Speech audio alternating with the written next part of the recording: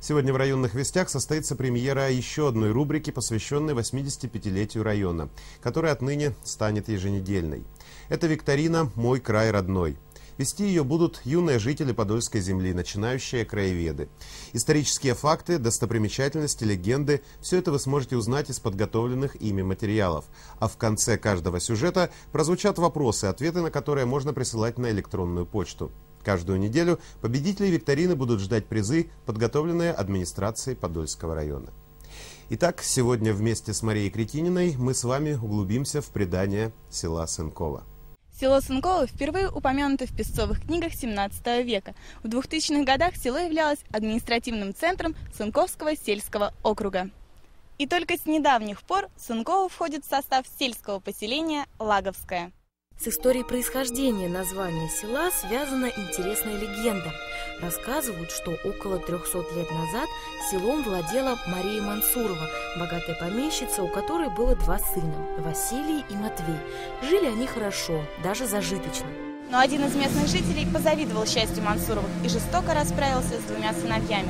Одного убил, а другого через несколько дней нашли в пруду. В честь сыновей трагически погибших село было названо Сынково от слова «сын», а бедная женщина, потерявшая двух детей, от горя и отчаяния лишилась рассудка.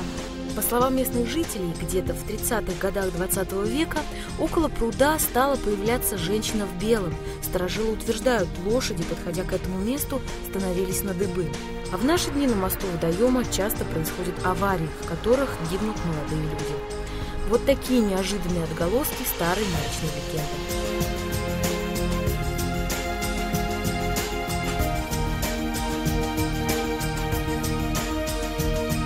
Но есть в и святые места. Одна из главных достопримечательностей – храм Иоанна Богослова, построенный в 1899 году в неовизантийском стиле.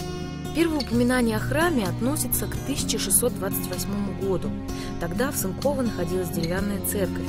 Новый деревянный храм был построен в 1757 году, а спустя еще сто лет в связи с увеличением села было подано прошение о строительстве каменного храма на 400 человек.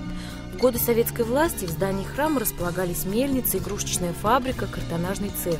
Колокольня была разрушена, пожары уничтожили настенные росписи. Но с начала 2000-х годов храм переживает второе рождение.